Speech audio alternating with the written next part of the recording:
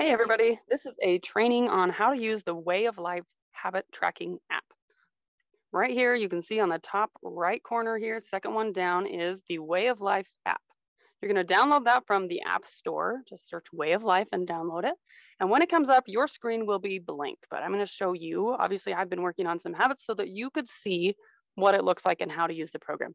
When you come in, your screen will be blank and you're gonna hit this hamburger symbol or the three lines in the top left corner and click on new journal. This is where you'll put in a new habit, whatever your new habit is that you would like to work on. So let's say we are adding a habit of a bedtime routine. Bedtime routine from 9 to 10 p.m. This habit is good for us, so we're going to mark it as yes so that it shows up green when we complete it. If you're working on a habit that you're trying to break, then you can mark it as no, this is a bad habit that I'm trying to get out of. Um, and that will mark it as red when you complete it. So going to save that. And now we go back into the journal tracker right here. It will always have you going on today's date. And so let's, these are the, some of the habits I've been working on. I just added this one in here. So let's go back. I've obviously missed a few days on my exercise habit tracking. So you're gonna click on the line where this habit is, and then you can just click previous days to go back and adjust or change those days. So yesterday I did exercise, so I'm gonna mark that as yes, complete.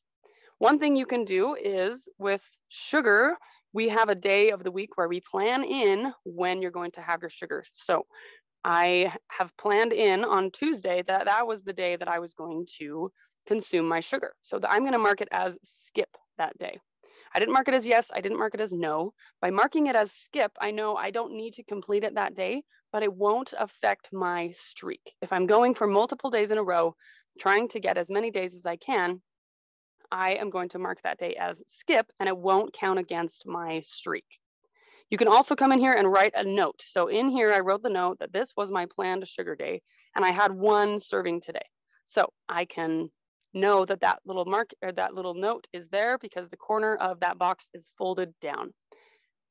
So let's say that I need to go back here and change this one. I actually did complete my sugar that day. Again, you can go back and check out previous days, mark those things off.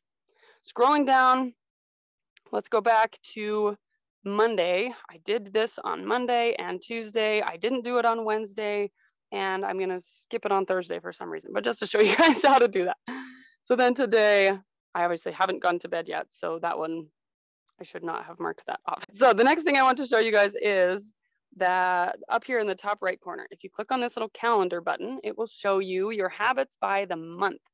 Over here, click it again and it'll go back to a week tracker. And then this is a month tracker. You guys know how much I value the two month time period in tracking your habits. So this is a super valuable tool. Again, if you wanna go back further and see it more, you can scroll back through um, by just scrolling across, pulling your finger to the right. Or you can come down here to the bottom and click on trend. And this can take you back all the way two years of habit tracking. You're able to track something for two years. This app is awesome. It's so simple and there's so much data in here for, to help you figure out exactly what is going on. It's so awesome. I love it so much. You can track your individual habits and see how those are going. You can track all these different things. It's just so simple and so easy to use. Again, you can find your notes that you've left for yourself. Okay, I left a note for myself on this day. And the last thing I want to show you is click on the setup button down here. This reminder at the top is an alarm that you can set for yourself. So right now I have an alarm set at 10 a.m. every day to move these habit concepts that I want to have in my life from my subconscious to my conscious. When I hear that alarm bell go off and when I see this reminder, it reminds me to prioritize those things.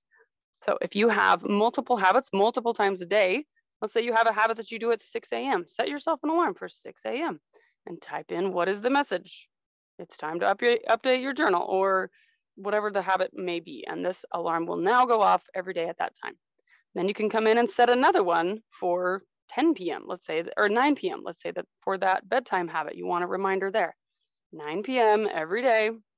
You can do certain days of the week. You can just do it on Mondays, Tuesdays, whatever. However you want to do it. Hit save in there. Oh, and then we could leave a little note for ourselves.